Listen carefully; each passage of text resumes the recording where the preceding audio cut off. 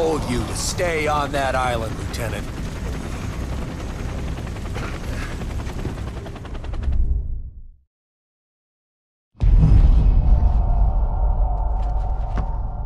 This court has reached a final verdict. Any last words? Men like you are why I fought the Cog. We saved a lot of people today. Yeah, including your ass. No final words from you, Lieutenant? Maybe you have a point, sir. We saved, what, a thousand people? The Lightmass missile was designed to save millions. I know that. But if Karn had taken Halvo, we might have lost a chance to save anyone.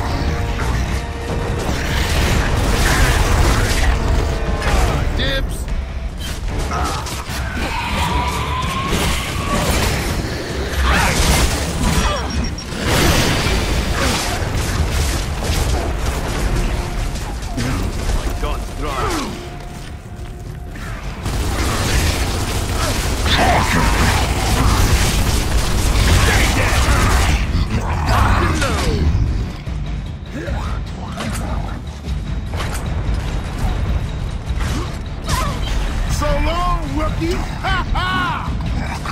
Ha ha!